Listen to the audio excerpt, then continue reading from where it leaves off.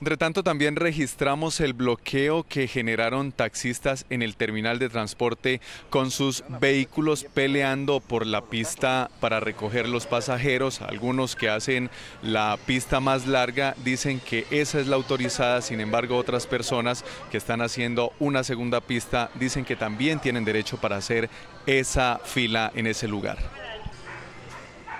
Los de acá siempre esperamos el servicio, que nos llegue pero los de aquí nos quitan las carreras que venimos los del lado de acá. Entonces, ¿qué es lo que pasa? Los de acá llevan unas colas larguísimas, porque estamos optando trabajando bien, pero los de aquí llegan y nos jalan las carreras, o si no las cogen por todos los lados, por donde sea, y ¿qué optamos nosotros? Pelear nuestras carreras, porque nosotros sí estamos haciendo la cola. Ellos están, se están sentados en el, en el carro, las muchachas le abren la bodega, le meten y ellos sentaditos, nosotros le echamos la maleta al hombro y la cargamos hasta allá.